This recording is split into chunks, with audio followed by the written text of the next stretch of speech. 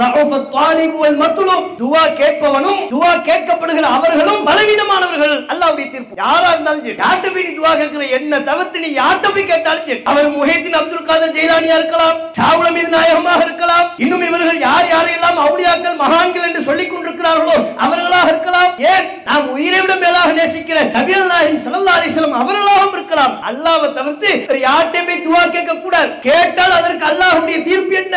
நீயும் பலவீனமானவன். நீ யாரிடத்தில் முன்பாக போய் நின்று கொண்டு துவா செய்கிறாயோ அவர்களும் பலவீனமானவர்கள். ஏன்ட்ட கேளுங்கிறான்ல இதாங்க தௌஹீது.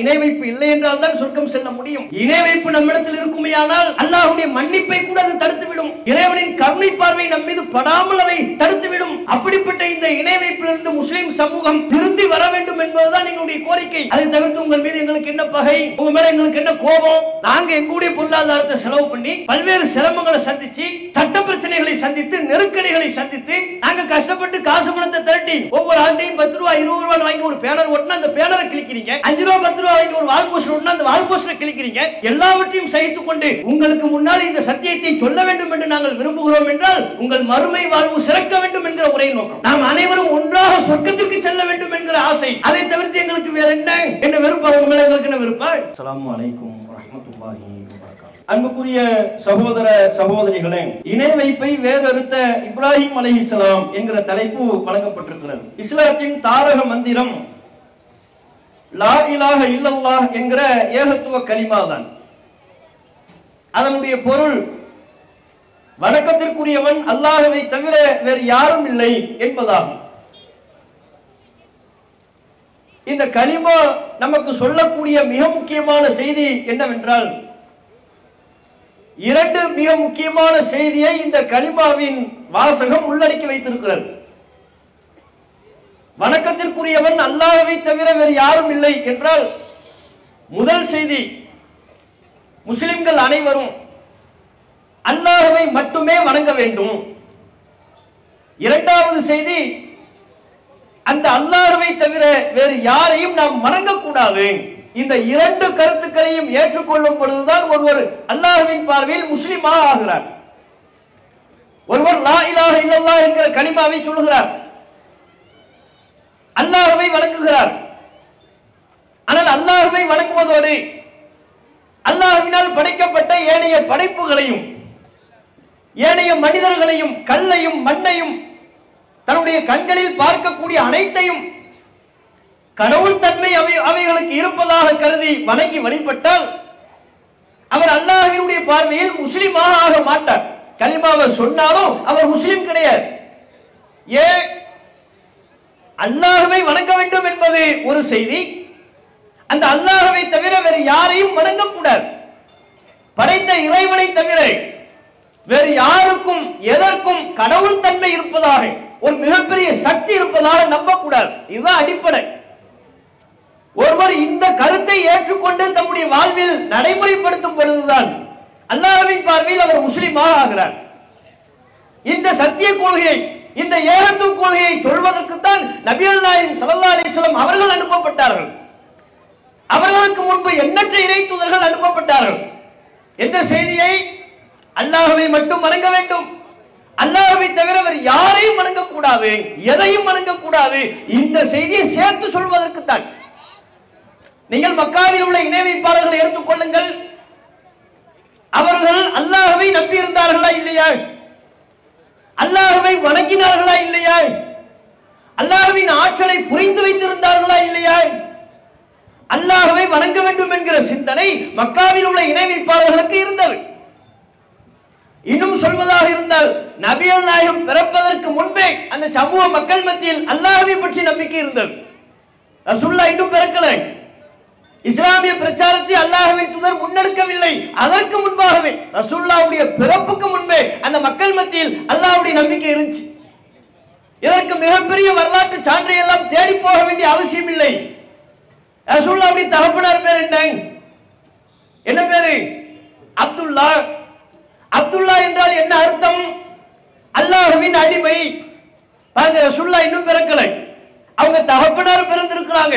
ரசூல்லாவுடைய பாட்டனார் நபியல் தகப்பனாருக்கு பேர் வைக்கிறார் அப்துல்லா அல்லாஹ்வின் அடிமை. அப்படி என்றால் அந்த சமூக மக்கள் மத்தியில் அல்லாஹ் என்கிற சொல் அறியாத சொல் அல்ல அல்லாஹவை பற்றி அவர்கள் அறியாதவர்கள் இல்லை அறிந்து வைத்திருந்தார்கள். அந்த அல்லாஹவை வணங்கிக் கொண்டிருந்தார்கள் திருக்குறானில் கூட இதற்கு ஏராளமான சான்றுகளை நீங்கள் பார்க்க இயலும் நபி நாயகம் பிறந்து நாற்பது வயதை அடைந்து நபியாக இறை தூதராக அறிவிக்கப்பட்டதற்கு பிறகு மக்கள் மத்தியில் போய் கலிமாவின் கொள்கையை பிரச்சாரம் செய்தார்கள். அப்ப அல்லாஹ் ரசூலுல்லாஹ்விடத்துல மக்களிடத்துல கேள்வி கேட்க சொல்றான். குல். நபியை நீங்கள் கேளுங்கள். மை எருசுக்கும் மின சமாய் வல் அர்த்.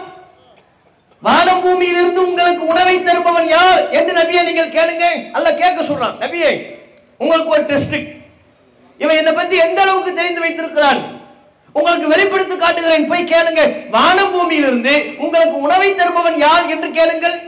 உமை உஹ்ரிஜுல் மையித்த மினல் ஹை. செத்தவற்றிலிருந்து உயிருள்ளவற்றை வெளிப்படுத்தக்கூடியவன் யார் என்று கேளுங்கள். உயிருள்ளவற்றிலிருந்து செத்தவற்றை வெளிப்படுத்தக்கூடியவன் யார் என்று கேளுங்கள்.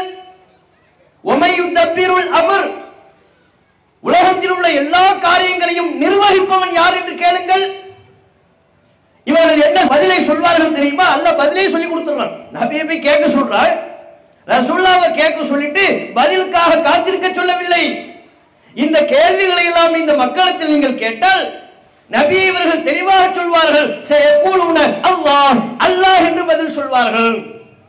அப்படின்னு அல்லாஹ் எந்த அளவுக்கு அவன் நம்பி இருந்திருக்கிறார் வான பூமியிலிருந்து ரிஸ்க் தருபவன் அல்லாஹ். உலகத்தில் உள்ள எல்லா காரியங்களையும் நிர்வகிப்பவன் அல்லாஹ். இறந்தவற்றிலிருந்து உயிருள்ளவற்றை வெளிப்படுத்தக்கூடியவன் அல்ல.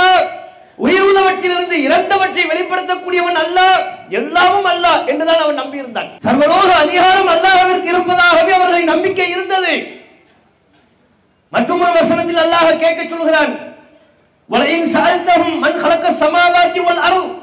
நபியை நீங்கள் அவர்களிடம் கேள்வி எழுப்பினார் வானங்களையும் பூமியையும் படைத்தவன் யார் என்று நீங்கள் கேள்வி எழுப்பினால் அல்லாஹ் அல்லாஹ் என்று அவர்கள் பதில் சொல்வார்கள்.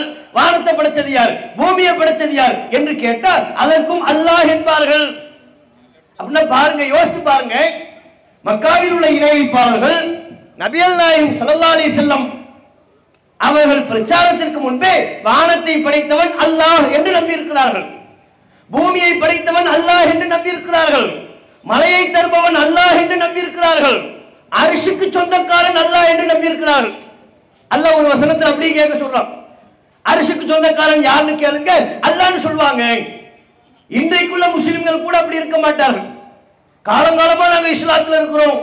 பரம்பரை பரம்பரையா நாங்க முஸ்லிமா இருக்கிறோம் என்று சொல்லக்கூடியவர்களிடத்தில் கூட அரிசினா என்னன்னு கேளுங்க ஒண்ணும் தெரியாது. அரிசா அப்படின்னா என்ன தெரியாது? ஆனா அந்த மக்காவில் உள்ள இணை வைப்பாளர்களிடத்தில் அரிசிக்கு சொந்தக்காரன் யார் என்று கேட்டால் கூட அல்லாஹ் என்று சொல்வார்கள். அப்படின்னா என்ன பிரச்சனை? அல்லாஹ் பத்தி அவன் தெரிஞ்சு வச்சிருக்கிறானே.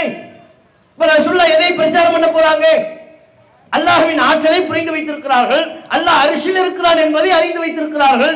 எல்லாவற்றையும் தருபவன் அல்லாஹ் என்று நம்புகிறார்கள். அப்ப இப்ப எதை ரசுல்லா பிரச்சாரம் பண்றாங்க? அந்த அல்லாஹ்வை வணங்கினா மட்டும் போதாதுப்பா. அல்லாஹை மட்டுமே வணங்க வேண்டும். அல்லாஹவை தவிர அவர் யாரையும் வணங்கக்கூடாது. அதான் பிரச்சனை. ரசுல்லாவுடைய பிரச்சாரத்தை அவர்கள் ஏற்க மறுத்ததற்கு என்ன காரணம் தெரியுமா? அல்லாவை நம்பியிருந்தாங்க. அல்லாவை வணங்கினாங்க. ஆனா அல்லாஹுக்கு செலுத்த வேண்டிய பல்வேறு வணக்க வழிபாடுகளை ஏனைய கற்களுக்கும் அல்லாஹினால் படைக்கப்பட்ட படைப்பினங்களுக்கும் வழங்கினார்கள். லாத்து உசா என்று அவர்களாக பல சிலைகளை ஏற்படுத்தி கொண்டு அவைகளிடத்தில் போய் பிரார்த்தனை செய்தார்கள். அவைகளிடத்தில் போய் குழந்தை வரத்தை கேட்டார்கள். தங்களுடைய நோய் நொடியை நீக்குமாறு அந்த கற்களிடம் போய் முறையிட்டார்கள். அப்படின்னா அல்லாஹ் தான் இறைவன். அவன் தான் எல்லாவற்றையும் படைத்தான். ஆனால் அல்லாஹ்விற்கு செய்ய வேண்டிய வணக்க வழிபாடுகளில் பலவற்றை அல்லாஹ்வினால் படைக்கப்பட்ட படைப்பினங்களுக்கு செய்தார்கள். அதான் பிரச்சனை. அல்லாஹ் மட்டும் வணங்கி அல்லாஹ்வுக்கு செய்ய வேண்டிய வணக்கத்தை வேறு எதற்கும் செய்யாதே. இதைத்தான் ரசுல்லா பிரச்சாரம் பண்ணாங்க. லா இலாஹ இல்லல்லாஹ். வணக்கத்திற்குரியவன் அல்லாஹவை தவிர வேறு யாரும் இல்லை. அல்லாஹ் மட்டும் வணங்க பாரு அல்லாஹ் தவிர்த்து வேறு யார் முன்னாலே போய் நிற்காதே. யாரிடத்திலையும் அல்லாஹ்விடத்தில் கேட்பதை போல் பிரார்த்தனை செய்யாதே. அல்லாஹவை தவிர வேறு யாருக்காகவும் சஜிதா செய்யாதே. இதை ஏற்க மறுத்ததுனால தாங்க அவங்க மக்கா முஷிரிக்கீங்கள் இத்தனைக்கும் அவர்களில் பலர். லாத்து உசா மனாத் என்று பல சிலைகளை ஏற்படுத்தி கொண்டு அவைகளிடத்தில் போய் பல்வேறு கோரிக்கைகளை துவாக்களாக முன்வைத்தார்களே. அவர்களில் சிலர் அவற்றை கடவுள் என்று சொன்னார்கள். ஆனால் அந்த மக்களில் பலர் அவைகளை கடவுள் என்று சொல்லவில்லை. அல்லாஹ் ஒரு கடவுள் லாத்து இன்னொரு கடவுள் உஸ்ஸா இன்னொரு கடவுள் மனாத்து இன்னொரு கடவுள் அப்படி சொல்லல பல பேர். அப்ப அவங்களுடைய எண்ணம் என்ன? எந்த எண்ணத்தில் போய் கேட்டார்கள் என்பதையும் குரால் நல்லா சொல்லி தருகிறான். ஒய் அகபதூன மின் தூணில்லாஹி மாலா எதுருகும் மலா என்பவகும் தங்களுக்கு எந்த தீங்கையும் செய்யாதே. தங்களுக்கு எந்த நன்மையையும் தராதே. பலவற்றை அல்ல அல்லாதவற்றை இவர்கள் வணங்குகிறார்கள். ஏப்பா இதையெல்லாம் வணங்குறீங்கன்னு கேட்டா இங்க போய் ஏன் துவா செய்றீங்க? அங்கே போய் என் குழந்தையை கேட்கிறீர்கள்.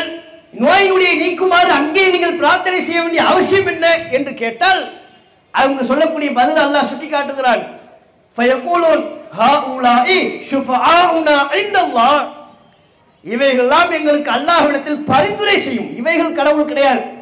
நாங்க என்ன கடவுள்னா சொன்னோம்? லாத்து உஷா கடவுளா? இல்லை. மனாத்து கடவுளா? இல்லை. கடவுள் என்று நம்பி அங்கே போய் நாங்கள் நிற்பதில்லை. அல்லாஹ்விடத்தில் நாங்கள் நேரடியாக கேட்க முடியாது. இந்த சிலைகள் எல்லாம் இந்த லாத்து உஷா போன்றவைகள் எல்லாம் அல்லாஹ்விடத்தில் எங்களுக்கு பரிந்துரை செய்யும் சப்பாத்து பண்ணும் எங்களுக்காக வேண்டி துவா செய்யும் இன்னும் அவர்களுடைய இன்னும் ஒரு பதிலை அல்லாஹ் குரானில் சொல்லி காட்டுகிறான். மா நஅபுதுஹும் இல்லா லியுகர்ரிபுனா இலல்லாஹி சுல்ஃபா. இவைகளை நாங்கள் வணங்குறதுக்கு என்ன காரணம் தெரியுமா?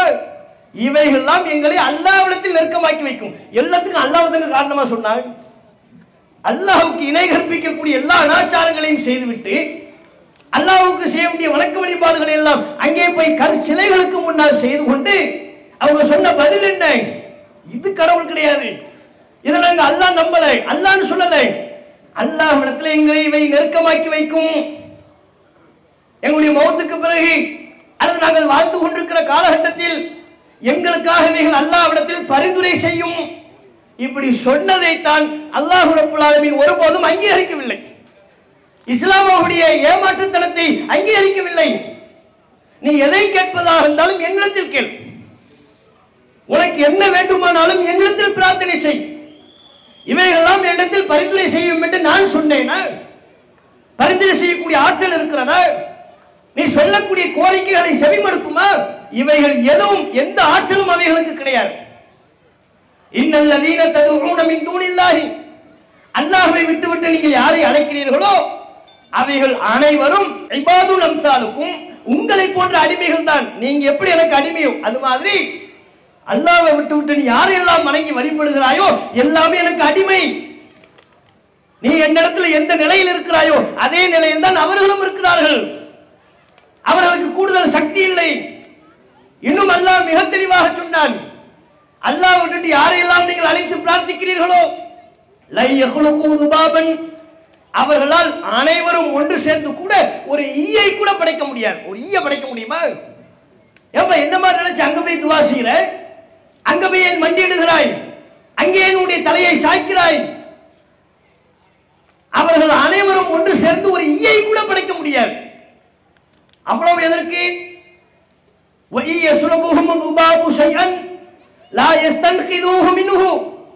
அவர்களுக்கு ஒரு உணவு ஏதேனும் படையில் வைக்கப்பட்டிருந்தால் ஒரு ஈ அவைகளுக்கு படைக்கப்பட்டிருக்கிற உணவுக்கு முன்பாக போய் நின்று கொண்டு அந்த உணவை பறித்தால் இவர்களால் தடுக்க முடியாது.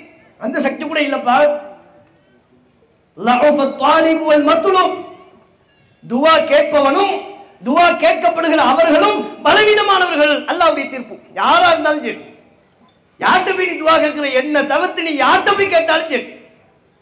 அவர் முஹைத்தின் அப்துல் காதர் ஜெயிலானியா இருக்கலாம். ஷாவுல மீது நாயகமாக இருக்கலாம்.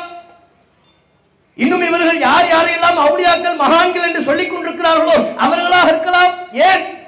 நாம் உயிரை விட மேலாக நேசிக்கிற நபியல் நாயகம் சல்லா அலிஸ்லாம் அவர்களாகவும் இருக்கலாம். அல்லாவை தவிர்த்து வேறு யார்கிட்டயும் போய் துவா கேட்க கூடாது. கேட்டால் அதற்கு அல்லாஹுடைய தீர்ப்பு என்ன? லஅஃப நீயும் பலவீனமானவன். நீ யாரத்தில் முன்பாக போய் நின்று கொண்டு துவா செய்கிறாயோ அவர்களும் பலவீனமானவர்கள். ஏட்ட கேளுங்கிறான் அல்லாஹ் இதாங்க தௌஹீது. அல்லாட்ட மட்டும்தான் துவா கேட்கணும். அல்லாவை மட்டும்தான் வணங்கணும். அதான் கலிமாவின் அர்த்தம். வெறுமனே லாயிலாக இல்லல்லா என்று சொல்லிவிட்டால் நாம் முஸ்லீம் ஆகிவிட மாட்டோம். அல்லாஹவை வணங்குவதால் நாம் முஸ்லீம் ஆகிவிட மாட்டோம். தொழுகை மூலமாக மட்டுமே நாம் முஸ்லீம் ஆகிவிட மாட்டோம். அல்லாஹுக்காக மட்டுமே வணக்கத்தை செலுத்துகிறோமா? அல்லாஹவை தவிர வேறு யாரையும் நாம் வணங்காமல் இருக்கிறோமா? அதுதான் அடிப்படை. இந்த அடிப்படை இன்றைக்கு முஸ்லிம் சமூகத்திற்கு தெரியாத காரணத்தினால் பல்வேறு தர்காக்களை ஏற்படுத்திக் கொள்கிறார்கள். மகான்கள் இறைநேசர்கள் என்று சொல்லிக்கொண்டு அவரிடத்தில் போய் துவா கேட்கிறார்கள். அல்லாஹுடைய இடத்துல இவர் நேசிக்கக்கூடிய மகானை கொண்டு போய் நிறுத்துகிறார்கள். அவரிடத்தில் பிரார்த்தனை செய்கிறார்கள் மண்டியிடுகிறார்கள் தமிழகத்தில் தான் எத்தனை தர்காக்கள்? தர்காக்குடைய லிஸ்ட் வாசிக்கிறதுக்கே நமக்கு ஒரு கால் மணி நேரம் வேண்டும் அவ்வளவு தர்கா எது எதுக்கெல்லாம் தர்காங்கிறது கூட ஒரு வரையறை இல்லாமல் போய்விட்டது. எது எதுக்கெல்லாம் தருகா இருக்கு பாருங்க. சும்மா ஒரு சில லிஸ்ட் மட்டும் வாசி காட்டுறேன். இவங்க யார் யார்ட்டையெல்லாம் துவா செய்யறாங்கன்னு பார்த்தா பிடி மஸ்தான் அவுளியா பீமா பள்ளி. பொறையாறுல கட்டி மஸ்தான். அவன்கிட்ட என்ன கட்டி இருக்குன்னு தெரியல. தங்க கட்டி இருந்தா கூட வாங்கியிருக்கலாம். கட்டி மஸ்தான் அவுளியா பொறையாறுல. புதக்குடியில சட்டி மஸ்தான். இது என்ன இது? கட்டிக்கு ஆப்போசிட்டா சட்டி. சட்டி மஸ்தான் அவுளியா. கோயம்புத்தூர்ல சங்கிலி மஸ்தான். தங்க சங்கிலியா வச்சிருக்கிறாரு. இருபத்தி ரெண்டு கேரட்டா இருபத்தி நாலு கேரட்டா.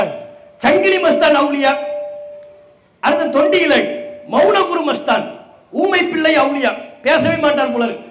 பேச மாட்டான்னு அவன்கிட்ட போய் ஏன் கேட்கிறாய் நீ ஏன் சொல்லிட்ட மௌனகுரு மௌ- மௌனகுரு அவுளியா தான் அவருக்கு பேரு. தொண்டியில் இருக்கிறது. அப்ப பேச மாட்டார்னு சொல்லிக்கொண்டு அவர் எப்படி அல்லாட்ட பேசுவாரு? வாய் பேச முடியாதவன்னு பேர்லயே வைத்துக் கொண்டிருக்கிறார்கள். அப்ப எந்த அளவுக்கு இவர்கள் அறியாமல் இருக்கிறார்கள் என்பதற்கு இவர்கள் வைத்திருக்கிற இந்த பெயர்களே ஒரு சான்று. தஞ்சையில் குரங்கு மஸ்தான் அவுளியா. குரங்குமா அப்ப அல்லாட்ட போய் கேட்கும். குரங்குமா பரிந்துரை செய்யும். குரங்கும் அல்லாவிடத்துல நம்ம நெருக்கி வைக்குமா? அதுக்கு எதுக்கு அவ- அது எப்படி அவுளியாவா ஆச்சு? குரங்கு மஸ்தான் அவளியா? அதே மாதிரி தஞ்சையில் இன்னொரு பகுதியில் அனுமான் அவளியா? அது குரங்கு இது பேரை மட்டும் மாற்றிக்கிட்டாங்க இப்போ பிற சமூகத்தில் குரங்கு அனுமான் என்று சொல்வார்கள் அல்லவா? அனுமான் அவுளியா? அதே தஞ்சையின் இன்னொரு பகுதியில் அணிப்பிள்ளை அவுளியா? அணிலே விட்டு வைக்கல இவங்க. அணிலையும் என்ன வாக்கி விட்டாங்க. அணிப்பிள்ளை அவுளியா? தஞ்சையில் பார்த்தீங்கன்னா இன்னொரு பகுதியில் பாஸ்போர்ட் அவுளியா? பாஸ்போர்ட் யாருக்கும் சிக்கல் இருக்கா? பிரச்சனை இருக்கா? இமிகிரேஷன் கிளியர் பண்ணணுமா? அல்லது பாஸ்போர்ட்டுக்கு நீங்க அப்ளை பண்ணி வராம இருக்குதா? பேர் மாத்தம் ஆதார் கார்டு மாத்தம் எல்லாம் அங்க போய்க்க வேண்டியதுதான். என்னென்ன சிக்கல்னால சில பேருக்கு வீட்டு முகவரினால பாஸ்போர்ட் வராம இருக்கும். புதிய அட்ரஸுக்கு மாறி இருப்பாங்க. பேர்ல ஒரு ரெண்டு எழுத்து மாறி இருக்கும். ஒரு எழுத்து என்ன நம்ம கவர்மெண்ட்ல போய் சொன்னா நம்ம சொன்னது ஒழுங்காக அவங்க பதிவு பண்றாங்க. நம்ம ஒரு பேர் சொன்னோம்னா அவரா அவர் காதுக்கு என்ன விழுதோ அந்த பேர் எழுதி போடுவாரு. நம்ம பாட்டு வாங்கிட்டு வந்துருவோம். அதுக்கப்புறம் பார்த்தா ஏதாவது வெளிநாட்டுக்கு போகும்போது தான் பாஸ்போர்ட் ஆஃபீஸுக்கும் அங்கும் இங்குமா அலைய வேண்டியது வரும். அப்போ பாஸ்போர்ட் அவுளியா? அது யாருக்கு? இந்த இந்த பிரச்சனை யாருக்கு? பாஸ்போர்ட் பிரச்சனை உள்ளவர்கள் அங்கே போய்க்க வேண்டியதுதான். ஈசிஆர் ஈசிஎன்ஆர் பாஸ்போர்ட் பஞ்சாயத்தா? வெளிநாடு போக முடியலையா? தஞ்சையில் அந்த பகுதியில் இருக்கக்கூடிய பாஸ்போர்ட் அவுளியா? திருவிதாங்கூர்ல கபரடி அவுளியா? அதுக்கு பக்கத்திலே குதிரை அவுளியா? அவர் அந்த அவுளியா குதிரையில் போனாராம். அந்த குதிரைக்கு ஒரு சமாதி கட்டி வச்சிருக்கிறாங்க. அடுத்து தக்கலைக்கு பக்கத்துல காட்டுபவா அவுளியாம். கோட்டாருக்கு பக்கத்துல வேப்ப மருந்து அவுளியாம். என்னடா இது மரத்தை எல்லாம் அவுலியான்னு வேப்ப மருந்து அவுளியா? மாமரத்து அவுளியா? மரத்தடி அவுளியா? மரக்கட்டி அவுலியா மோத்திபவா அவுளியா? மிஸ்கின் அவுளியா? பச்சை அவுளியா? ஃபக்கீர் மஸ்தான் அவுளியா? பக்கீர் மஸ்தான் என்ன விளக்குதுல? சடப்பக்கீர் அவுளியா வேற தனியா இருக்கு. பக்கீர்லயே ஒரு பத்து உறுப்பு இருக்கு. சடப்பக்கீர் அவுளியா? சடப்பக்கீர் அவுளியானா என்ன? அவர் இறைநேசனா மகானம் யாருப்பா அது சடப்பக்கீர்? கடப்பைக்குன்னா வேற யாரும் இல்லைங்க. வருஷ கணக்கில் குளிக்காம ஒரு நாள் ரெண்டு நாள் இல்லை. ஒரு மாசம் ரெண்டு மாசம் இல்லை. வருஷ கணக்கில் குளிக்கக்கூடாது குளிக்காம தலைமுடி வெட்டக்கூடாது. சடை வளர்ந்துருமா? அந்த சடை ஃபுல்லாக அப்படியே பார்த்தா பின்னி கிடக்கும். பின்னி கிடக்குன்னு அது ஒன்றும் அழகு கிடையாது. எல்லாம் அழுக்கு. எல்லாம் அவ்வளோ அழுக்கு. வருஷ கணக்கில் குளிக்க தூய்மை இஸ்லாத்தின் ஒரு அங்கம் என்று இஸ்லாம் சொல்கிறது. நபிகள் நாயகம் சொன்னார்கள் அத்தஹூரு சத்ருல் ஈமான். தூய்மை என்பது இறை நம்பிக்கையின் பெரும்பகுதி. ஈமான்ல பாதி என்று சொல்லக்கூடிய அளவிற்கு இஸ்லாத்துல தூய்மை வலியுறுத்தக்கூடிய அம்சங்கள் இஸ்லாத்தில் வலியுறுத்தப்பட்டிருக்கிறது. நபியல் நாயிம் ஸல்லல்லாஹு அலைஹி வஸல்லம் அவர்கள் அதிகமாக பரிந்துலக்குவாங்க ஏன்? தூய்மையை ரசூல்லா விரும்புவாங்க. அவரிடத்தில் ஒரு ஆடை இருந்தாலும் இரண்டு ஆடை இருந்தாலும் அந்த ஆடை தூய்மையாக இருக்க வேண்டும் என்று அல்லாஹவின் தூதர் விரும்புவார்கள். நமக்கும் அல்லாஹவின் தூதர் சொன்னார்கள் பல் உங்களுக்கு சிரமம் என்று கருதி இருக்காவிட்டால் அமர்த்துஹும் சிவாக்கி இந்த புள்ளி சலாத் ஒவ்வொரு தொழுகையின் போதும் பல் துலக்க வேண்டும் என்பதை நான் கட்டாயமாக்கியிருப்பேன். அந்த அளவுக்கு இஸ்லாத்தில் தூய்மை வலியுறுத்தப்பட்டிருக்கிறது. பல் துளக்குவதை பற்றி கூட ரசுல்லா வலியுறுத்தினாங்க இயற்கை தேவை நிறைவேற்றுவதற்காக சிறுநீர்களுக்கு சென்றால் தூய்மை செய்ய வேண்டும் என்பதை மார்க்கம் வலியுறுத்துகிறது. அப்படி வலியுறுத்தப்பட்ட இந்த மார்க்கத்தில் இருந்து கொண்டு ஒருவரை மகான் என்கிறார்கள் இறைநேசர் என்கிறார்கள் அல்லாஹிற்கு பிடித்தமானவர் என்கிறார்கள் அவர் எந்த அளவிற்கு தூய்மையில் உச்சம் கொண்டிருக்க வேண்டும்? ஒரு சாதாரண சாமானிய முஸ்லீம் எவ்வளவு தூய்மையை கடைபிடிக்கிறாரோ அதை விட பன்மடங்கு அதிகமான தூய்மை அவரிடத்தில் இருக்க வேண்டும். ஆனா அவர் இவங்க அவுளியான்னு சொல்லக்கூடிய அந்த சடப்பக்கீர் அவுளியா வருஷ கணக்கில் குடிக்காது பக்கத்தில் மனுஷன் போக முடியாது. ஒரு சாபு பாட்டில் ஃபுல்லாக தலையில் கவுத்துனா கூட அந்த சடையை சீக்கிரத்தில் கழுவ இயலாது. தொட முடியாது. அப்போ சடப்பக்கீர் அவுளியாவான் அடுத்து என்ன? பொட்டல் புதுல்ல மைதின் பிச்சை அவுளியா. ஆத்தங்கரை அவுளியா அக்கரைப்பள்ளி அவுளியா அம்பலத்து அவுளியா மக்கட்டிலப்பை அவுளியா காத்தாடி அவுளியா ஆளூர்ல அது எதுவும் காத்தாடி கொடுக்குறாரா? என்ன காத்தாடி அவுளியா? வைக்கையா இருந்தா அங்க போய் நின்னா குளு குளுன்னு காத்து வருமா? எதுக்கு இந்த பேரை வச்சிருக்கிறாங்க? வழங்க மாட்டேங்குது. இவங்களுக்கு தேவை ஒரு உண்டியலை கொண்டு வைக்கணும். மக்களை ஏமாத்தணும். அந்த அவுளியா இந்த அவுளியான்னு சொல்லி கூட்டத்தை வரவழைச்சு அந்த உண்டியலை நிரப்புறது. இதுக்காண்டி இவர்கள் ஏற்படுத்தி கொண்டதுதான் இவைகள் அனைத்தும். காத்தாடி அவுளியா பல்லாக்கு அவுளியா அது எங்க இருக்கு? பல்லாக்கு கீழக்கரையில் இருக்கு. சந்தூக் அவுளியா? கால் துட்டு அவுளியா? கால் துட்டு தான் செல்லாத அதுக்கு கால் துட்டு அவுளியா என்ன காரணத்தினால கால் துட்டு அவுளியா? ஹயாத்தி அவுளியா? பிரேக்ஷா அவுளியா? பிரேக் பிடிப்பார் அவரு? பிரேக்ஷா அவன். ஹாஸ் பாவா அவுளியா? கொடிக்கால் பாளையத்தில் கேத்தல் பாவா அவுளியா? கேத்தலே ஒளிஞ்சு வச்சப்பா இப்போ. ஒரு காலத்தில் டிஎட் கேத்தலில் கொண்டு வந்தாங்க. அப்ப இது இவங்க பேர் வச்சதுலேருந்து என்ன விளங்குதுன்னா அவங்களாம் ஒரு காலத்தில் மக்களுக்கு மக்களுக்காக தங்களால் இயன்ற ஒரு சேவையை செய்திருப்பார்கள். அதான் கேத்தல் இல்லாதவங்களுக்கு கேத்தல் கொண்டு கொடுத்துட்டார் போல இருக்கு. அவர் அதை என்ன வச்சுட்டாங்க? கேத்தல் அவுளியா. அடுத்து கோதரிசா அவுளியா. பொட்டல் புதுரு பக்கத்தில் இருக்கிற ஒரு மலை. அப்பா ராவுத்தர் அவுளியா கூத்தாநல்லூர். பட்டேஷா ஹசரத் அவுளியா மஞ்சக்குப்பம். வண்ணம் திட்டும் அவுளியா நக்ஷபந்த் அவுளியா. வண்ணம் திட்டும் அவுளியா பெயிண்ட் அடிக்க போறாரு? யாருக்கு பெயிண்ட் அடிக்க போறாரு? வண்ணம் திட்டும் அவுளியா. தக்கடி அப்பா அவுளியா. அந்த தக்கடி அப்பா அவுளியாவுக்கு என்னன்னு சொன்னா புலி பாம்பு கிட்ட இருந்து வந்து காப்பாற்றக்கூடிய ஸ்பெஷலிஸ்டான் புலி வருது திடீர்னு இந்த கூட்டத்தில் புலி வந்துருச்சுன்னு வைங்க. இந்த நம்பிக்கையின்படி இப்போ தக்கடி அப்பா கூப்பிட்டோம்னா கூட்டம்னா புலிகிட்ட இருந்து நம்மளை எஸ்கேப் ஆயிடலாம் என்ன கதை என்ன ஒரு கற்பனை?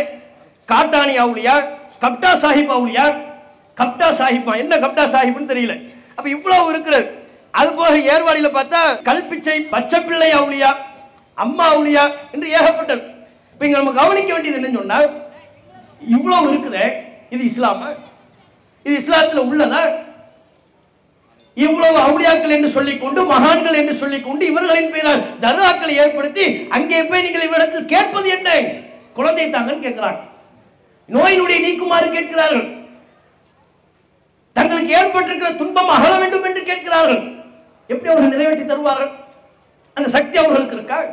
அப்ப முதல் நாம புரியும் அல்லாஹவை மட்டும் லா இலாக இல்லல்லாஹ் என்றால் அல்லாஹவை மட்டுமே வணங்க வேண்டும். அல்லாஹவை தவிர வேறு யாரையும் வணங்கி வழிபடக்கூடாது. வணக்கம் என்று வரக்கூடிய எதனையும் அது தொழுகையாக இருக்கலாம் அறுத்து பலியிடுதலாக இருக்கலாம் நேர்ச்சையாக இருக்கலாம் துவாவாக இருக்கலாம் துவாவெல்லாம் ஒரு சிறந்த வணக்கம். இத்தகைய வணக்கங்கள் எதனையும் அல்லாஹவை தவிர வேறு யாருக்கும் நாம் போய் செலுத்தக்கூடாது. அப்ப முஸ்லிம்கள் தமிழகத்தில் உள்ள முஸ்லிம்கள் இந்த அடிப்படையை புரிந்து கொண்டு செயல்படுகிறார்களா? இப்போது நாம் வாசித்த இந்த தர்காக்களின் பட்டியல்கள் இறைநேசன் மகான் என்று சொல்லப்படுபவர்களின் பட்டியலே எதை உணர்த்துகிறது? இஸ்லாத்தின் அடிப்படையே முஸ்லிம்களுக்கு தெரியலை. அல்லாட்ட கேட்பதற்கு பதிலாக அல்லாஹ் அல்லாதவன்ட்ட போய் கேட்குறாங்க. நாங்கள் யாரும் இவர்களை திட்ட வேண்டும் என்பது நம்முடைய நோக்கம் உண்மையில் உண்மையிலே அவர்கள் மகான்களாக இருந்தால் அதற்குரிய கூடிய அல்லாவிடத்தில் பெறுவார்கள். கண்டிப்பாக அவர்கள் பெற வேண்டும். மகான்களை மதிக்க வேண்டும் நேசிக்க வேண்டும். யார் மகான் என்பது நமக்கு தெரியுமா? உண்மையில் அவர்கள் மகான்களாகவே இருந்தாலும் அவனத்தில் போய் நாம போய் பிரார்த்தனை செய்யலாமா? இது கூடாது என்பதுதான் தௌஜமாத்தினுடைய மிக முக்கியமான பிரச்சாரம். அப்ப இந்த பிரச்சாரத்தை நாம் செய்கின்ற பொழுது மக்கள் என்ன நினைக்கிறார்கள்? இவங்க ஒரு புதுசா ஒரு கொள்கையை சொல்றாங்க. காலங்காலமா நம்ம முன்னோர்கள் தர்காவுக்கு போய் அங்கதானே துவா செய்து கொண்டிருந்தார்கள். அது என்ன இவர்கள் கூடாது என்கிறார்கள் என்று நம்மின் மீது ஒரு காழ்ப்புணர்வோடு வெறுப்புணர்வு பார்வையோடு அறியாமையின் காரணத்தினால் பார்க்கிறார்கள். ஆனா நீங்க பாத்தீங்கன்னா இன்றைக்கு உள்ள காலகட்டங்களில் இந்த சத்தியம் பல்வேறு வகையில் வெளிவருகிறது. எப்படி வெளிவருகிறது? ஜமாத்து உலமா சபை என்று திருச்சியில் அவர்களின் சார்பாக ஒரு கொள்கை விளக்க மாநாடு என்கிற பெயரிலே சில பேரை வைத்துக் கொண்டு பிரச்சாரம் செய்கிறார்கள். ஜமாத்தில் உள்ளமான யாரு? அவங்க தவு ஜமாத்துக்காரர்களா? அல்லது தமிழகத்தில் வகாபிகள் என்கிற பெயரை எடுத்தவர்களா? கிடையாது. நேர் ஆப்போசிட்டா தவு ஜமாத்தின் சார்பாக நம்ம என்ன கொள்கையை பிரச்சாரம் பண்றோமோ பல விஷயங்களில் அதற்கு நேர் எதிரான கொள்கையை சொல்பவர்கள். ஆனால் அந்த ஜமாத்துல் உலமா சபையில் சார்பாக ஒரு கேள்வி ஒன்று கேட்கப்படுகிறது. தர்காக்கள்ல போய் துவா செய்யலாமா அப்படின்னு கேள்வி. அதற்கு மிக தெளிவாக இன்னைக்கு நாம் எதை சொல்லிக் கொண்டிருக்கிறோமோ தமிழகத்தில் பல வருஷமா இன்னைக்கு நாம எதை பிரச்சாரம் செய்கிறோமோ அதையே அவர்களும் பதிலாக சொல்கிறார் அவங்க பார்வை என்ன? தர்காக்கள் இருக்கலாம் ஆனா அங்க போய் துவா கேட்க கூடாது. அல்லாட்ட மட்டும் தான் கேட்கணும். கிளிப்பிங் இருக்கா? கிளிப்பிங் ஒன்று போடுங்க. ஜியாரா செய்யறது முஸ்தாப் ஒரு ஜியாரத்தை செய்யலை? குற்றவாளியாக ஆகிவிட முடியாது. ஆனால் இன்னைக்கு நடக்கிறது என்னன்னு சொன்னால் அங்கே சென்று அவுளியாக்களிடத்தில் முன்னோர்களிடத்தில் நாதாக்களிடத்தில் உதவி தேடுறது. அந்த உதவி தேடுறது கூடாது. நம்ம சூரிய ஃபாத்தியார ஓதுறோம் ஈயாக்க நாபுது பொய்யாக்க நஸ்தாயின். யா அல்லாஹ் உன்னையே வணங்குகிறோம் உன்னிடத்துல உதவி தேடுகிறோம் அப்படின்னு நீங்கள் பள்ளியாசல சொல்கிறோம் பள்ளியாசலுக்கு வெளியே போய் அந்த மாதிரி காரியம் செய்யக்கூடாது. எல்லா மூவின்களும் இதே நிலை தான் எல்லா நேரத்திலும் சரி. பள்ளியாசல் மட்டுமல்ல எல்லா நேரத்திலும் ஐயாக்க நாபுது ஒய்யாக்க நஸ்தாதி இந்த நிலை வந்துருச்சுன்னு சொன்னா யாருக்கு எந்த விதமான திகட்டல் வராது. இவன் சொல்றாங்களா? தொழுகையில நம்ம என்ன கேட்கிறோம்? ஈயாக்கன அப்போது ஒரு ஈயாக்கன ஸ்தனீன் உன்னையே நாங்கள் வணங்குகிறோம். உன்னிடம் மட்டுமே உதவியும் தேடுகிறோம். அப்போ தொழுகையில் அப்படி சொல்லிட்டு தொழுகைக்கு வெளியே போய் அல்ல அல்லாதவர்கிட்ட போய் பிரார்த்தனை செய்யலாமா? அப்படி கூடாது என்று சொல்கிறார்கள் அப்போ சுண்ணத்துள் ஜமாத்தை சார்ந்தவர்கள் என்று தங்களை சொல்லிக் கொள்பவர்கள். இவங்க ஒன்றும் தவு ஜமாத்காரர்கள் அல்ல. இப்போது நீங்கள் வீடியோவில் கூட பார்த்திருக்கலாம். தொப்பி சகிதமாக ஜுப்பா அணிந்து கொண்டு அவர்கள் உரை நிறுத்துகிறார்கள் அப்ப மிக தெளிவாக தர்வாக்கள் அடக்கம் செய்யப்பட்டிருக்கிற மனிதர்களிடத்துல போய் பிரார்த்தனை செய்யக்கூடாது. சொல்றாங்களா இல்லையா? இதைத்தானங்க நாங்களும் சொல்றோம். இதைத்தானே ஏர்வாடியில நாங்கள் சொல்றோம். இதைத்தானே காயல்பட்டினத்தில் சொல்றோம். இதைத்தானே பொட்டல்புதூர்ல தமிழகத்தில் உள்ள அத்தனை ஊர்களிலும் இதைத்தானே நாங்கள் சொல்கிறோம் இதை சொல்வதற்காக நாங்கள் பேனர்கள் வைத்தால் அந்த பேனரை போய் நீங்க ஏன் கிழிக்கிறீங்க? அந்த பேனர் உங்களுக்கு என்ன பண்ணுச்சு? பேனரை போய் கிழிக்கிறாங்க. வால் போஸ்டர் ஒட்டினா அந்த வால் போஸ்டரை கிழிக்கிறாங்க. வால் போஸ்டர் திங்கிறது மாடுல திங்கும். நமக்கு எதுக்கு அங்க போய் வேலை? மனுஷனா நம்ம இருந்து கொண்டு வால் போஸ்டரை போய் நம்ம சொல்லலாமா நோண்டலாமா? பிளக்ஸ் பேனரை போய் நம்ம நோண்டலாமா? அவ அறிவில்லாமல் இது போன்ற காரியத்தில் ஈடுபடக்கூடியவர்களாக இருக்கிறார்கள் என்பதை பார்க்கணும். இந்த தருகாக்கள் கூடாது என்று நாம சொல்வதற்கு இது ஒரு அடிப்படையான காரணங்கள். நம்ம போய் துவா செய்யலாம். துவா செய்யக்கூடாது. தெளிவான இணை வைப்பு அது மாத்திரம் இல்லாமல் அங்கே அடக்கம் செய்யப்பட்டிருக்கிற நபருடைய சமாதிக்கு முன்பாக போய் சஜிதா செய்கிறார்கள். சஜிதா செய்யலாமா? குரான்ல மிக தெளிவாக அல்லாஹ் சொல்கிறான் லா தஸ்ஜுதூலி ஷம்சி வலாலில் கமர். சூரியனுக்கோ சந்திரனுக்கோ சஜிதா செய்யாதீர்கள். வஸ்ஜுதூ லில்லாஹி இல்லதி ஹலக்கஹுன்ன அவைகளை படைத்தேன் மேலும் உங்களை படைத்த அல்லாஹ்வுக்கு மட்டுமே சஜிதா செய்யுங்கள். சஜிதான அல்லாஹ்வுக்கு மட்டும்தான். அல்லாஹ் தவிர்த்து வேறு யாருக்கும் நம்ம சஜிதா செய்யக்கூடாது. பெற்றோர்களை மதிக்க வேண்டும்.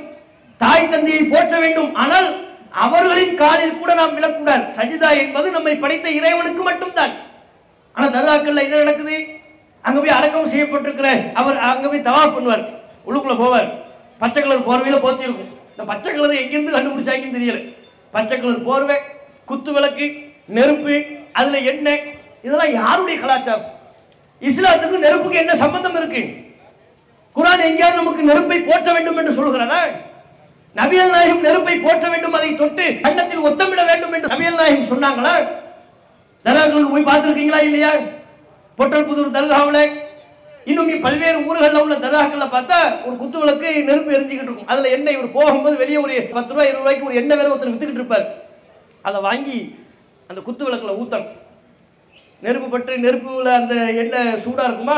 அப்படியே கண்ணை மூடி ஏதோ முணுப்பார் முணு முணுப்பார் அந்த எண்ணெயை தொட்டு கழுத்தில் தேய்க்கிறது. இது யாருப்பா இதை சொல்லி தந்தா? இது எப்படிப்பா இஸ்லாம்? ஆகும் இஸ்லாம் நெருப்பை வணங்கக்கூடிய கூட்டத்தை கண்டிக்கிறது. நெருப்பு நம்மை படைக்கவில்லை. அது அல்லாஹினால் படைக்கப்பட்ட ஒரு படைப்பு அவ்வளவுதான். நாம் எப்படி இறைவனின் ஒரு படைப்போ அதுபோல் தான் வானம் பூமி அனைத்தும். கல் மண்ணு மரம் நெருப்பு எல்லாமும் இறைவனின் படைப்புகள். படைப்புகளை எப்படி வணங்கலாம்? படைப்புகளை நீங்கள் போய் புனிதம் என்று எப்படி நீங்கள் அதனை முத்தமிடலாம்? கண்ணில் போய் நீங்கள் ஆராதிக்கலாம்? ஒரு முஸ்லீம் செய்யக்கூடிய செயலா? அது சமாதிக்கு பச்சை பூர்வை போத்தி ஒரு நாலு பக்கமும் நடந்து வர மாதிரி தவா பண்ற மாதிரி ஒரு இடம் விட்டுருவாங்க. நம்ம தாய்மார்கள் சொல்ல வேண்டியது எதுக்கு சுத்துனாங்கன்னே தெரியாது. தலையில முக்காடு போட்டு அப்படியே போவாங்க. இங்கிருந்து அங்க ஒரு சொத்து திரும்ப இங்க ஒரு சொத்து அங்க ஒரு சுத்து. வரும்போது நெருப்பை தொட்டு அந்த எண்ணெயை கழுத்துல தேய்ச்சிட்டு பேரப்பிள்ளையை கூட கூட்டு போயிருப்பாங்க. அவர் கழுத்துலையும் தேய்ச்சி அவன் போகும்போது பளபளப்பாக போவான். வரும்போது என்ன பூசின முகமா வெளியே வருவான். எதுக்கு இதை பண்றோம் நம்ம? இதுல அனாச்சாரம் இல்லையா? இஸ்லாத்திற்கு புறம்பான செயல் இல்லையா? இந்த தர்காவில் கந்தூரி கொண்டாட்டங்கள் ஈடுபடுகிறார்கள். அந்த கந்தூரி கொண்டாட்டங்கள்ல பாருங்க இஸ்லாத்திற்கு துளியும் சம்பந்தம் இல்லாதவைகள் எல்லாம் வரும். கந்தூரியில யானை வருது. யானை ஏன் வருது? இஸ்லாத்துக்கு யானைக்கு என்னங்க சம்பந்தம்? அது ஏன் நம்ம கந்தூரி கொண்டாட்டத்தில் யானை ஏன் வந்து பங்கெடுக்கிறது? யானையை வைத்து இவர்கள் செய்யக்கூடிய அளப்பறை அந்த யானையின் மீது நம்முடைய பிள்ளைகளை ஏற்றுவது பறக்குது அந்த யானையில கொடி அவுளியாவினுடைய கொடி போகுது. அதனால அந்த யானை இப்ப என்னவா ஆகிவிடுகிறது? பறக்கத்தாயிரும். யானை மட்டும் பறக்கத்தில்லை. யானை பறக்கத்துங்கிறதுனால தான் பிள்ளைகள் அந்த யானையெல்லாம் போகும்போது சின்ன பிள்ளைகளை ஏற்றி விடுவாங்க. நாங்கள்லாம் குழந்தையா இருக்கும்போது நம்மளெல்லாம் யானையை ஏற்றி விடுத்தா பொட்டல் பொட்டல் யானையில் யானையில பலமுறை ஏறி இருக்கும். பயமா இருக்கும் அழுகையா இருக்கும். அதெல்லாம் பார்க்கறதே இல்லை ஏற்றி விட்டுருவாங்க. குலகார பாவிகள் போல செயல்படுவார்கள். பச்சில குழந்தை அழுதுகிட்டு இருக்கும். யானை மேலே ஏறினா தான் உனக்கு கல்வி வரும். அது எப்படி வரும்? யானை மேலே ஏற்றி விடுறேன் இன்னும் சில பேரை பார்த்தீங்கன்னா யானை மேலே ஏற்றி அது கவட்ட வழியா கூட க- குழந்தையை கொண்டு வருவாங்க. இது என்னடா இது? புதுசா இருக்குது. அது அதுக்கு கவட்ட வழியா குழந்தையை தூக்கி கொண்டு வர்றாங்க? இப்போ பாருங்க ஒரு ஒரு யானை கிளிப்பிங் கூட இருக்கு. வணக்கம். சிறந்த வணக்கம் இது.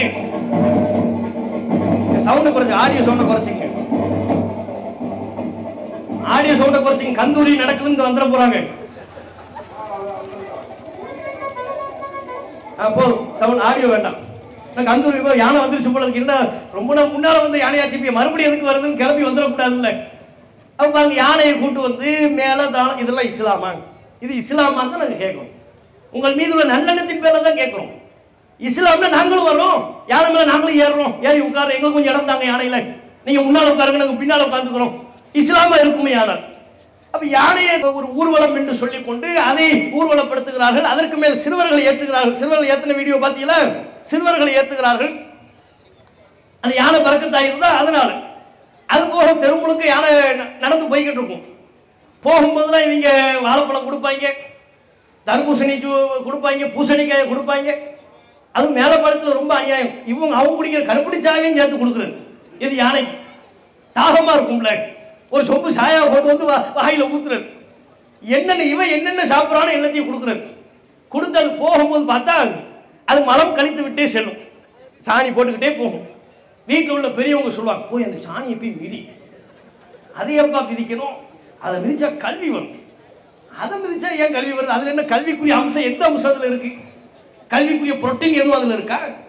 கல்விக்குரிய தாது பொருட்கள் எதுவும் அந்த சாணியத்தில் கலந்து இருக்கிறதா யானை சாணியை மிதிக்கணும்? மிதிப்பார்கள்.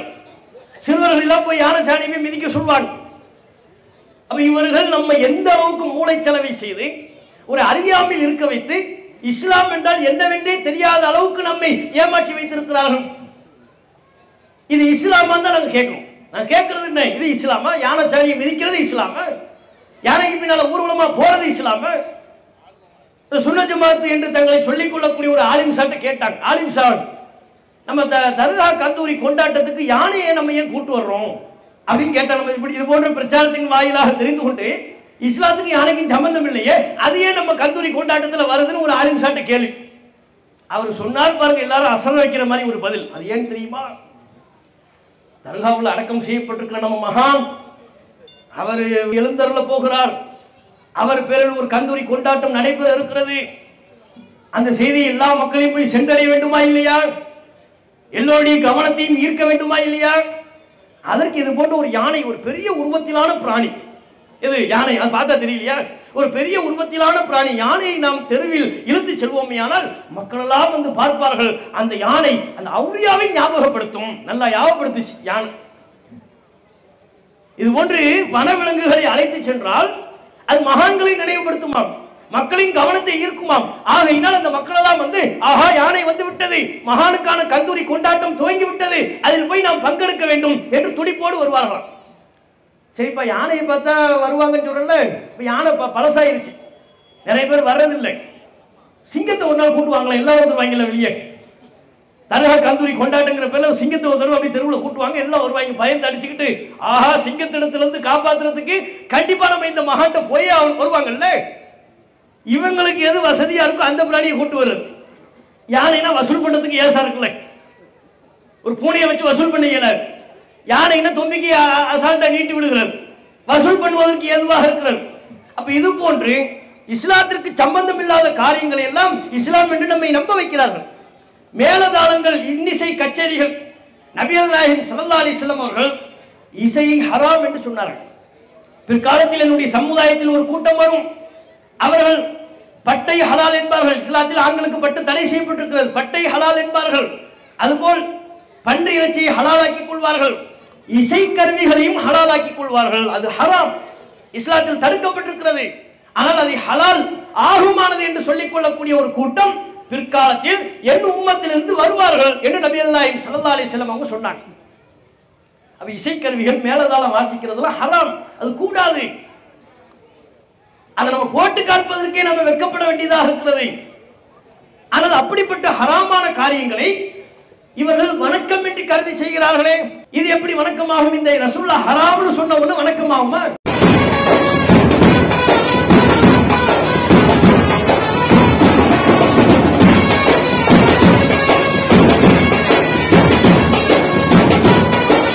பாருங்க முன்னால மகான் படுத்திருக்கிறாருங்கிறிய.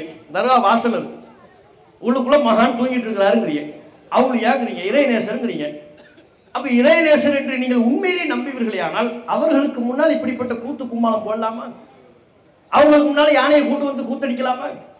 அவர்களுக்கு முன்பாக மேலதாளங்கள் இஸ்லாத்தில் ஹராம் என்று சொல்லப்பட்ட இசை வாத்தியங்களை கொண்டு நீங்கள் இசையை வாசிக்கலாமா? இதெல்லாம் இஸ்லாத்தில் அனுமதிக்கப்பட்ட செய்யலாம் அது மாத்திரமில்லாமல் இவர்கள் தர்கா கந்தூரி கொண்டாட்டம் என்கிற பேரில் கொடியேற்றம் நிகழ்ச்சி கொடி ஏத்துறாங்க. பேச்ச கேட்கறது இல்லை ஒரு காலத்துல தான் நம்மளை எல்லாம் பொய் சொல்லி அந்த பொட்டல் புதிர் யானை அவுளியா பேர்ல சத்தியம் பண்ணிருச்சு. என்னப்பா சத்தியம்?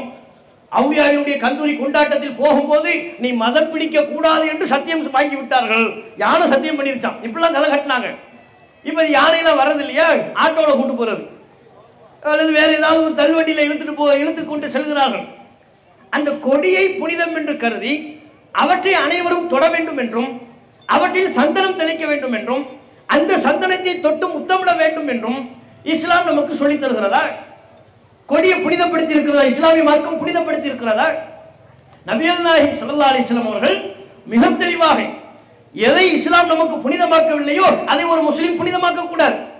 கொடியை புனிதமாக்குறது சந்தன கூடு என்று சொல்லி கொண்டு அந்த கூட்டை புனிதமாக எல்லாம் கலர் பேப்பர் தானங்க. இவங்க சந்தன கூடுன்னு ஒன்று கொண்டு வர்றாங்கல்ல அது என்னது அது? ஒரு கலர் பேப்பர் கலர் பேப்பரை கொண்டு வண்ண வண்ண கலர் பேப்பர்களில் ஒன்றை அலங்கரித்து விட்டு பிறகு அதை கூடு என்று மாற்றி அதை புனிதம் என்கிறார்கள். எப்படி புனிதமாகும்? நபி அல்லாஹிம் ஸல்லல்லாஹு அலைஹி அவர்கள் புதிதாக இஸ்லாத்தை ஏற்றுக்கொண்ட சில சகாபாக்களோடு ஒரு பயணம் செய்தார்கள். அந்த பயணத்தில் அந்த புதிதாக இஸ்லாத்தை ஏற்றுக்கொண்ட நபித்தோழர்களில் சிலர் ரசுல்லாவிடத்தில் ஒரு கோரிக்கை வைத்தார்கள். அல்லாஹின் தூதரே இந்த பயணத்தில் நம்ம ஓய்வு எடுப்பதற்கென்று ஒரு இடம் வேண்டும். இது அல்லனா தாத்து அன்வாத்தின் கமாலகம் தாத்து அன்வாத். எப்படி முந்தைய சமூகத்திற்கு தாத்து அன்வாத் என்று ஒரு புனித மரம் இருந்ததோ அதுபோல் எங்களுக்கும் ஒரு புனித மரத்தை நீங்கள் ஏற்படுத்துங்கள். அந்த புனித மரத்தை நீங்கள் எங்களுக்கு ஏற்படுத்தினால் நாங்கள் அதில் எங்கள் ஆயுதங்களை தொங்க விட்டுக் கொள்வோம். அந்த மரத்தின் கீழே நாங்கள் ஓய்வு பெறுவோம் நிழல் பெறுவோம். எங்களுக்கு ஒரு மரத்தை புனிதமாக்கி தாங்கன்னு கேட்டாங்க. முந்தைய சமுதாயத்திடத்துல அவர்கள் ஒரு ஒரு மரத்தை புனிதமாக்கி கொண்டார்கள். அல்லாஹ் புனிதமாக்கலை அவர்களாக தவறாக செய்து கொண்டார்கள். அது மாதிரி எங்களுக்கு ஒரு புனித மரம் வேணும்னாங்க அப்ப நபி அல்லாஹிம் ஸல்லல்லாஹு அலிஸ்லாம் அவங்க சொன்னாங்க இது என்ன கோரிக்கை இது? இது அபத்தமான கோரிக்கை இல்லையா? அறிவீனமான கோரிக்கை இல்லையா? நீங்கள் முந்தைய சமுதாயத்தை பார்த்து பார்த்து அவர்களின் வழியே பயணிப்பீர்களா?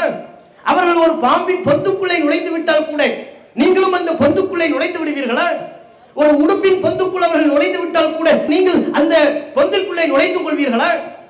இது சரியில்லை இந்த கோரிக்கை சரியில்லை இஸ்ரேல் சமுதாயம் மூசா அலி இஸ்லாம் அவர்களிடம் ஏனைய சமூகத்தை பார்த்துவிட்டு அவர்களுக்கு பல கடவுள்கள் இருந்ததைப் போல எங்களுக்கும் பல கடவுள்கள் வேண்டும் என்றார்கள். அது அவங்களுக்கு மட்டும் பல கடவுள்? எங்களுக்கு மட்டும் ஒரு கடவுளா? எங்களுக்கும் பல கடவுளை தாங்கன்னு அறியாமையில் கேட்டார்கள். அதுபோல் அல்லவா உங்கள் கோரிக்கை இருக்கிறது? அல்லாஹ் எதனை புனிதப்படுத்தி இருக்கிறானோ அதான் புனிதம். இந்த கருத்தை நபியல் நாயகம் சல்லா அலிஸ்லாம் அவர்கள் தெளிவுபடுத்தினார்கள். அப்ப இங்க நம்ம பார்க்க வேண்டியது என்ன? அல்லாஹ் ரசூல் எதோ புனிதம்ங்கிறாங்களோ அதான் புனிதம். மக்காவுக்கு போறோம். ஹஜருல் அஸ்வத் கல்லு தான் கல்லை தொட்டு முத்தமிடுகிறோம். முடியாத பட்சத்தில் தூரத்தில் இருந்து கொண்டே சைகை செய்கிறோம். ஏன்? ரசூல் சொன்னாங்க செய்யணும். அவ்வளவுதான்.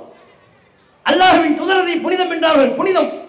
அந்த கல்லிடத்தில் போய் கூட புனிதம் என்று சொன்னதினால் துவா செய்யக்கூடாது.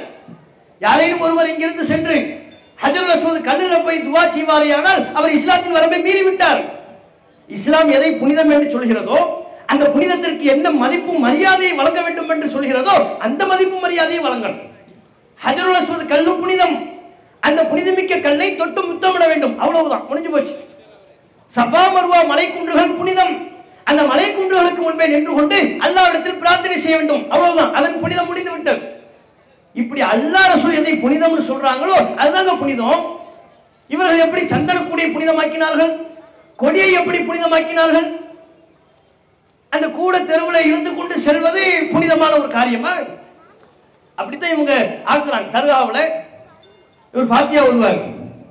அந்த ஃபாத்தியா ஓதுறதுக்கு முன்னால ஒரு சின்ன கிண்ணத்தில் சர்க்கரையை வச்சிருப்பாங்க. ஐம்பது கிராம் கூட இருக்காது. அந்த சர்க்கரையை இவர் ஃபாத்தியா ஊதி முடிச்சதுக்கு அப்புறம் அந்த சக்கரை புனிதமாயிடும் புனிதமான ஒண்ணு என்ன? அந்த சர்க்கரையிலிருந்து எடுத்து ரெண்டு கல் ஆளுக்கு ரெண்டு கல். இருக்கிறது ஐம்பது கிராம் சக்கரை கூட இல்லை. ஒரு கிண்ணத்துல குறைந்த அளவில் தான் இருக்கும். ரெண்டு கல் தலா ஒவ்வொரு ஆளுக்கா கொடுப்பாங்க. அதை நம்ம தாய்மார்கள் பயபக்தியோடு வாங்கிக்குவாங்க. தலையில முக்காடு போட்டு கொண்டாங்க இது ரெண்டு கிலோ சீனி தர்ற மாதிரி. ரெண்டு கல் சக்கரை ரெண்டு கல் சீனி. அதை புனிதம் பண்ணி நம்பி வாங்குவார்கள். அதுபோல் பூரியா பாத்தியா என்று சொல்வார்கள். பூரி அது போன்ற பூந்தி இவற்றெல்லாம் பாத்தியா ஊதி விட்டால் அந்த பூந்தியிலிருந்து ஒரு ஐந்து ஆறு எடுத்து கொடுப்பார்கள். புனிதம் புனிதம்னு நம்புறது. அப்ப இப்படியாக இஸ்லாத்தில் எவைகளெல்லாம் புனிதப்படுத்தப்படவில்லையோ அவைகளெல்லாம் புனிதம் என்று நம்பி செய்கிறார்கள்? இது சரியா? இது குறித்து அல்லாஹ் மறுமை நாளில் நம்மை விசாரிக்க மாட்டானா? இங்க கூட ஏர்வாளியில கூட சந்தன கூடு நடத்தினாங்க. பஞ்சா பஞ்சா நடத்தினாங்க. ஒன்னு இல்ல ரெண்டா சில ஊர்ல பார்த்தா ரெண்டு நடக்குது. என்னப்பான்னு பார்த்தா அங்கிட்டு இருந்து ஒரு கூட்டம் ஒரு பஞ்சாவை ஒரு சந்தனம் கூட கொண்டு வர்றாங்க. இங்கிட்டு இருந்து இன்னொரு கூட்டம் இன்னொரு பஞ்சா இன்னொரு சந்தனம் கூட கொண்டு வர்றாங்க. ரெண்டையும் டமால் டமால் மோதுறாங்க. எப்ப அந்த தேவையில்லாத வேலைன்னா இல்ல அது ஹசனாரு இது ஹுசைனாரு. ஹசனுக்கும் ஹுசனுக்கும் சண்டை. ஊர் நம்ம எல்லாரும் சேர்ந்து அதை வேடிக்கை பார்க்கணும். எப்படி பாருங்க. இப்படி செய்கிறார்கள். சந்தித்துக் கொண்ட தருணம்.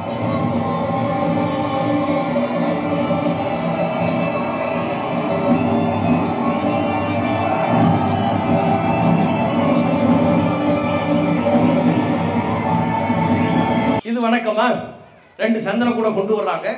அதை ரெண்டையும் இடிக்கிறாங்க. விசில் அடிக்கிறாங்க ஒரு குரூப் இளைஞர்கள் எல்லாம் சுத்தி கொண்டு விசில் அடிக்கிறார்கள். பூக்களை அதன் மீது தூவுகிறார்கள். ஆடுகிறார்கள். அதற்கு முன்பாக இளைஞர்கள் ஆடுகிறார்கள். இப்படி ஒரு சமுதாயம் உருவாவதற்கு நாம் அனுமதிக்கலாமா? இந்த கேளிக்கைகளையும் கூத்துக்கள் இருந்தும் தானே அவர்களை நாம் மீட்டெடுக்க வேண்டும்.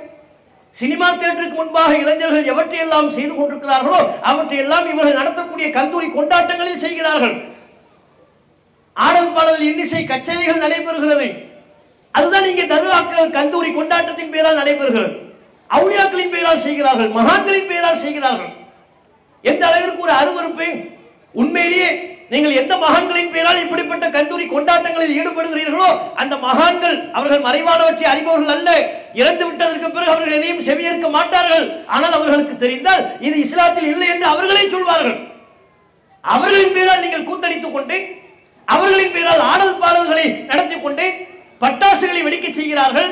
இஸ்லாத்தில் வீண் விரயம் என்று தடுக்கப்பட்டிருக்கிற காரியங்கள் எல்லாம் ஈடுபட்டு விட்டு மகான்களின் பெயரால் என்று அவற்றை புனிதம் என்று நியாயப்படுத்துகிறீர்களே இது சரியா? இது முறையா? இந்த கொண்டாட்டத்தில் ஈடுபடுவதற்கு கோர்ட்டு வரையிலையும் நீதிமன்றம் வரையிலையும் சென்று பொருளாதாரத்தை செலவழிக்கிறீர்கள்? இங்கு உள்ள மக்கள் இதில் உள்ள அனாச்சாரத்தை எல்லாம் அறிந்து கொண்டு இதெல்லாம் வேண்டாம்.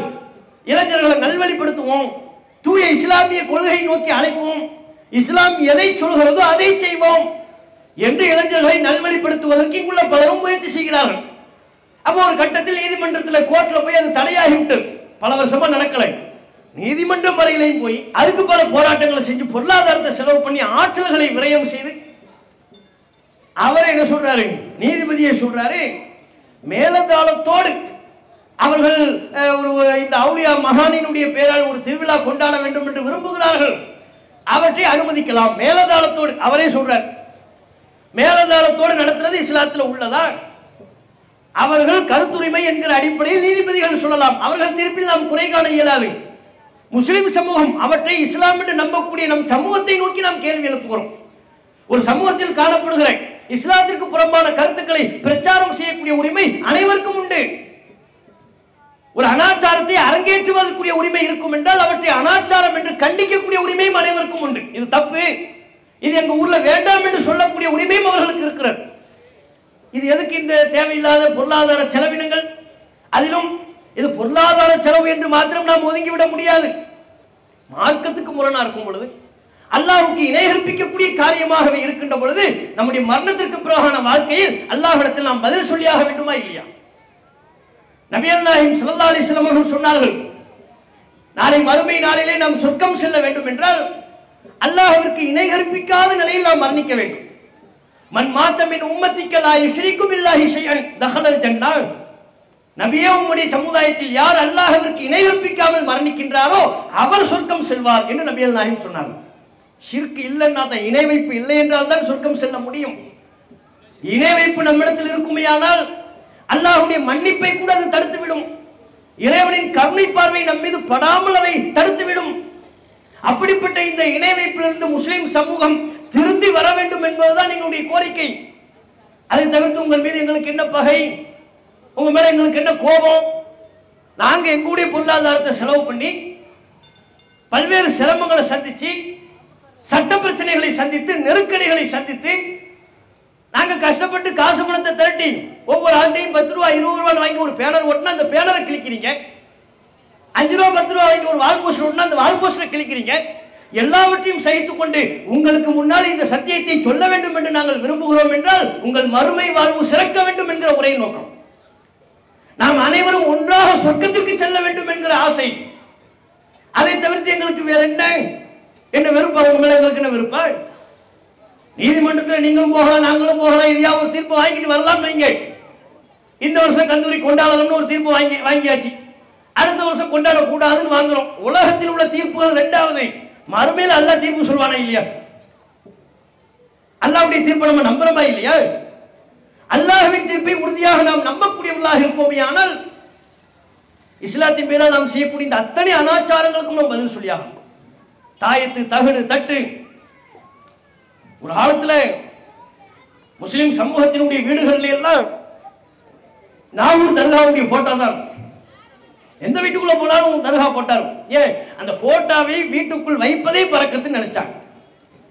அதையெல்லாம் அல்லாஹ்வின் அருளால் பல்வேறு பிரச்சாரங்கள் தொடர் படிப்படியான பிரச்சாரங்களின் வாயிலாக இறைவனின் அபிவிருத்தியை பெற வேண்டும் என்றால் அல்லாஹிடத்தில் நீங்கள் பிரார்த்தனை செய்யுங்கள்.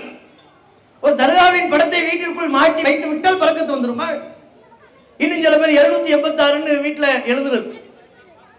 பொருளாதாரம் இல்லைன்னா இவரே ஒரு குச்சியால் எழுதிடுவார். எழுநூத்தி எண்பத்தாறு வீட்டுக்கு முன்னால் எழுதிடுவார். கொஞ்சம் காசு இருந்துச்சுன்னா பெயிண்டால் எழுதிடுவார். கூடுதல் காசு இருந்துச்சுன்னா கிரில் கம்பி ஆர்டர் பண்ணும்போதே செவன் எயிட் சிக்ஸ்னு ஒரு கிரில் கம்பி தாங்கன்றுவார். ஜன்னல் கம்பிலையோ நிலை கம்பிகளையோ எழுநூத்தி எண்பத்தாறு கிரில் கம்பிலேயே இருக்கும். அப்ப நம்ம சொன்னோம் எழுநூத்தி எண்பத்தாறு இஸ்லாத்தில் இல்லை. அந்த நம்பருக்கும் ஒரு புனிதம் கிடையாது. அது எழுநூத்தி எண்பத்தாறு வீட்டுக்குள்ள வந்தா வீட்டுக்குள்ள இருக்குமே ஆனால் அது வராது இது வராது முசீபத்து வராது. யாரு சொன்னார்? ரசுல்லா சொன்னாங்களா? நபியல்லாஹிம் சல்லா அலிஸ்லாம் அவர்கள் அல்லாஹின் மீது தான் நம் நம்பிக்கை வைக்க வேண்டும் என்று சொன்னார்களே ஒழிய அல்லாஹினால் படைக்கப்பட்ட படைப்பினங்களின் மீது அல்ல பொருட்களின் மீது அல்ல மிக தெளிவாக சொன்னார்கள் மண் அல்லக்க தமைமத்தன் பக்கத்து அஷ்ரக். எவர் ஒருவர் தாயத்தை தொங்க விடுவாரோ அவர் அல்லாஹிற்கு இணை கற்பித்து விட்டார். அல்லாஹ் மேல நம்பிக்கை வை. உனக்கு நோயை தருபவனும் அல்ல அந்த நோயை நீக்குபவனும் அல்ல. குழந்தையை தருபவன் அல்ல குழந்தை உனக்கு இல்லை என்றால் அந்த சோதனையை தந்தவனும் ஏற்படுத்தியவனும் அல்ல. உனக்கு ஏற்படக்கூடிய வறுமை வறுமையை தந்ததும் இறைவன் வறுமையிலிருந்து நீக்கி செல்வத்தை தரக்கூடியவனும் இறைவன் தான். ஆகவே இறைவனால் படைக்கப்பட்ட படைப்பினங்களின் மீது பொருட்களின் மீது நம்பிக்கை வைக்கக்கூடாது. தாயத்து கட்டிட்டா இவருக்கு செல்வம் கொட்டும். தாயத்து கட்டிவிட்டால் நோய் வராது. தாயத்து கட்டிவிட்டால் முசீபத்து நீங்கிவிடும். தாயத்து தப்பா முசீபத்து? முசீபத்து அந்த தாயத்து தான் நாங்க சொல்லல முசீபத்து ரசுல்லா சொல்றாங்க. அப்ப இப்படிப்பட்ட மூட நம்பிக்கைகள் இருந்து இஸ்லாத்திற்கு புறம்பான இஸ்லாத்திற்கு எதிரான அனாச்சாரங்கள் இருந்து முஸ்லிம் சமூகம் திருந்தி வர வேண்டும் என்கிற அழைப்பினைத்தான் இந்த பொதுக்கூட்டத்தின் வாயிலாக நாங்கள் விடுக்கின்றோம். இந்த சத்தியத்தை நீங்கள் ஏற்க வேண்டும். லா இலாக இல்லல்லாஹ் என்கிற அந்த கலிமா அந்த நாம் அல்லாஹ்விடத்தில் சொன்ன வாக்குறுதி உண்மையாக நடந்து கொள்ள வேண்டும். அல்லாஹவை வணங்க வேண்டும். அல்லாஹவை தவிர்த்து வேறு யாரையும் வணங்கக்கூடாது. அப்படி நாம் மரணிக்கின்ற பொழுதுதான் நாளை மறுமை நாளிலே சொர்க்கம் செல்கிற நன்மக்களாக திகழ முடியும். அப்படிப்பட்ட நல்வாய்ப்பினை அல்லாஹ் ரப்புல் ஆலமின் நம் அனைவருக்கும் தந்தருள்வானாக என்று கேட்டு என்னுடைய உரையை நிறைவு செய்து கொள்கிறேன். அஸ்லாம் அலைக்கும் வரமத்துல்லாஹி வபரகாத். இஸ்லாம் மற்றும் சமுதாய செய்திகளை அறிந்து கொள்ள தமிழ்நாடு தௌஹீத் ஜமாஅத் யூடியூப் பக்கத்தை உடனடியாக சப்ஸ்கிரைப் செய்து கொள்ளுங்கள். மேலும் பெல் பட்டனையும் கிளிக் செய்து கொள்ளுங்கள்.